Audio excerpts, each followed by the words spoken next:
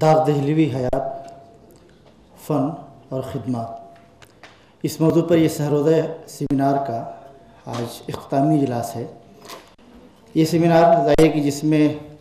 اکتیس مقالے پڑھے گئے اور اکتیس مقالوں کے علاوہ،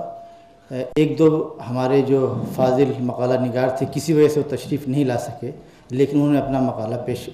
بھیج دیا تھا ای میل کے ذریعے۔ وہ مقالہ ظاہر ایک وقت ہوتا تو پڑھا جاتا۔ یہ سیمینار جیسا کہ ہم سب نے محسوس کیا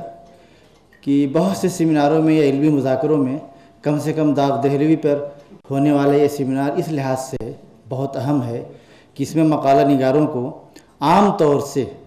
وقت کی تنگی نہیں تھی اور انہوں نے جس طرح سے داغ کی شخصیت، داغ کے فن اور وسعت کے ساتھ بہت کھل کے مکالمہ کیا ہے اور جس طرح کی گفتگو ہوئی ہے ظاہر ہے کسی بھی اچھے سیمینار یا کسی بھی باوقار علمی مذاکرے کا اس سے بڑا کوئی امتیاز نہیں ہو سکتا۔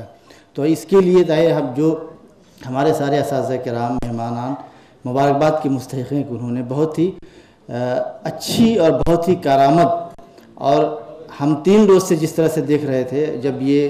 یہ اس کی پروسیڈنگ یہ مقالات چھپ کے آئیں گے تو دیکھیں گے کہ واقعتاً یہ کتنا کارآمد سب کے لیے ہے۔ خاص طور سے طلبہ اور ریسرچ اسکالرس نے جس طرح دل جمعی کے ساتھ، جس محبت کے ساتھ اور جس طرح سے شانہ و شانہ رہ کر کے اس سیمینار میں اپنا حصہ ادا کیا، وہ بھی مبارکباد کے مستحق ہیں۔ میں یہ سب سے اہم جو بات یہ ہے کہ پروفیسر ابوالکلام صاحب نے یا شعبہ اردو نے مل کر کے جس طرح کی پلاننگ کی تھی، جس طرح کی منصوبہ بندی کی تھی اور خاص طور سے تین مہینہ پہلے جس طرح سے سب کو دعوت نامے دیے گئے تھے میں یہ سمجھتا ہوں کہ یہ اسی کا رد عمل ہے کہ اتنی اچھی گفتگو، اتنے اچھے مقالے اور سب لوگوں نے کس کس طرح سے پیش کیے، وہ سب وہ سب ساری چیزیں اسی پروفیسر کلام صاحب کی بڑی منصوبہ بندی کا ایک بہت ہی اچھا یہاں پر ہم کہہ سکتے ہیں کہ اس کا آؤٹ پٹ یا اس کا نمونہ دیکھنے کو ملا۔ اس وقت بہت ذاتی قسم کی مجبوری کی وجہ سے اچانک ان کو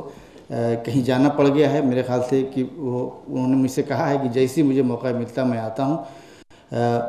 ہم اپنے شیخ الجامعہ صاحب کے کہ جن کی خاص توجہ اور عنایت سے ظاہر ہے کہ اس طرح کے علمی مذاکروں کا ہم سب کو اندازہ ہے، یونیورسٹیز کے اندر، جامعات کے اندر جو دشواریاں پیش آتی ہیں، الحمدللہ ان کی توجہ سے یا ان کی عنایت کی وجہ سے یہ سیمینار ہر لحاظ سے اپنے آغاز سے لے کر کے اختتامی مراحل تک بہت ہی کامیابی کے ساتھ، کامرانی کے ساتھ آگے بڑھا۔ اس موقع پہ پروفیسر شیم حنفی صاحب آج کے اختتامی اجلاس کی صدارت فرما رہے ہیں اور اس اختتامی اجلاس میں پروفیسر شہناز نبی صاحبہ، پروفیسر ابن کمل صاحب اور پروفیسر علی احمد فاطمی صاحب، یہ حضرات مختصراً یہاں پر اپنے تاثرات پیش کریں گے۔ تو میں سب سے پہلے گزارش کروں گا پروفیسر شہناز نبی صاحبہ سے، جو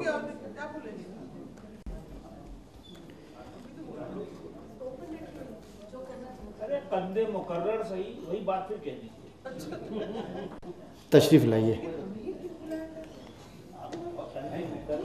اختتامی اجلاس میں خواتین کی نمائندگی کے لیے آپ کو بلایا جا رہا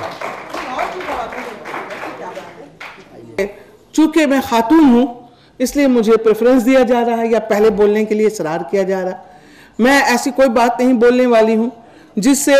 اس یونیورسٹی کی کوئی حد تک ہو یا ڈپارٹمنٹ کی کوئی حد تک ہو۔ پروگرام بہت ہی اچھا رہا ہے، سیمینار بہت اچھا رہا اور ابھی ابھی جسٹ چونکہ قاضی جمال صاحب نے کہا کہ دوبارہ چاہوں تو کہہ دوں انہی باتوں کو، تو میں ضرور یہ کہنا چاہوں گی کہ ابھی جس طرح ہمارے اسکالرز جو یہاں موجود تھے یا جو لیکچرز بھی ہیں اس ڈپارٹمنٹ سے متعلق ہیں، ان لوگوں نے جو پرچے پڑھے، وہ پرچے بہت اچھے تھے، بہت محنت سے لکھے گئے تھے ود ریفرنسز لکھے گئے تھے، اور میں نے ان سے یہ گزارش کی ہے کہ آئندہ وہ داغ کو اپنی طرح سے پڑھنے کی کوشش کریں، کیونکہ ہمارے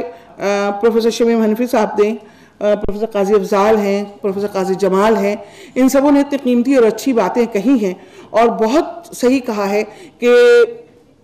داغ کو سیکنڈ ریٹ شاعروں میں رکھ دیا گیا اور میں نے یہ کہا ہے ابھی یہاں کہ ان کو سیکنڈ ریٹ شاعروں میں رکھنے میں ہم جیسے پروفیسران کا ہی آتے اور یہ کہ اگر پچھلے تین دنوں سے ہم داغ کے کلام سے زیادہ ان کے زندگی پر توجہ دے رہے ہیں، ان کے ماں کے کیریکٹر ان کی نانی کے کیریکٹر ان کے خالہ کے کیریکٹر کو سمجھنے کی کوشش کر رہے ہیں، تو اس سے بڑی افسوسناک بات نہیں ہو سکتی ہے۔ لہٰذا میری یہاں گزارش بچوں سے یہ ہے کہ آپ داغ کو اپنی طرح سے سمجھنے کی کوشش کیجیے گا۔ اور جمال صاحب، میں نے یہ بھی کہا ہے کہ اگر داغ آج یہاں ہوتا تو اس کا ڈی این اے ٹیسٹ ہو جاتا۔ تو تو یہ جو ہے کہ جس طرح سے اس کے اس کے نجی مسئلوں کو جاننے کے لیے اور جو باتیں کہہ دی گئی ہیں، اس کو بھی بار بار ریپیٹ کیا جا رہا ہے۔ تو یہ، اگر اس اس کے لیے ہم یہاں آئے ہیں، تو یہ اس سیمینار کی سب سے بڑی ناکامی ہے۔ لیکن اگر کچھ نئی اور اچھی باتیں سیکھنے کے لیے ہم آئے ہیں، کوئی ایک نیا پرسپیکٹیو لے کے آئے ہیں یا کسی نئے پہلو سے داغ کو دیکھنے کی کوشش کر رہے ہیں، اور یہ اگر یہ سوچنے کے لیے آئے ہیں کہ داغ میں کوئی نیا پہلو ہی نہیں ہے کچھ ہم تلاش کریں تو پھر یہ افسوسناک بات ہوگی۔ لیکن اگر ہم کچھ نیا جاننے اور سیکھنے کے لیے آئے ہیں، سننے کے لیے آئے ہیں، تو پہلے دن سے انوگرل سیشن سے شمی منفی صاحب کی باتوں سے جو ہمیں روشنی ملی ہے، قاضی افضال صاحب نے بھی تو اسلوب پہ یا اسٹائل پہ بات کی یا ان کی شہرت پہ بات کی کہ کیسے ان کی شہرت پھیلی۔ بالکل نیا تھا یہ، الگ تھا۔ موضوعات پرانے ہو سکتے ہیں، لیکن آپ کا ٹریٹمنٹ نیا ہونا چاہیے۔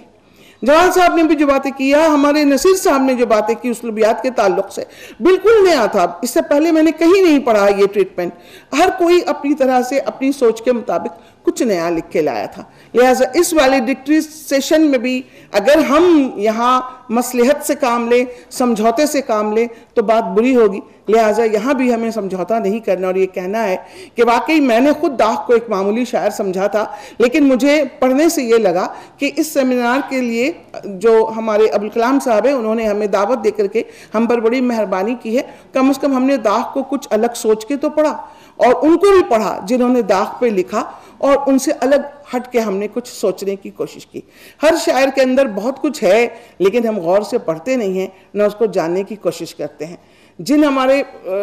بزرگوں نے جو لکھ دیا، بس ہم اسی کو مان کے چل رہے ہیں۔ تو یہ جو نیا پن ہمیں قاضی افضال صاحب نے سکھایا ہے، جمال صاحب نے، نصیر صاحب نے محدین جناب جی بڑے نے، ہمارے جو یہ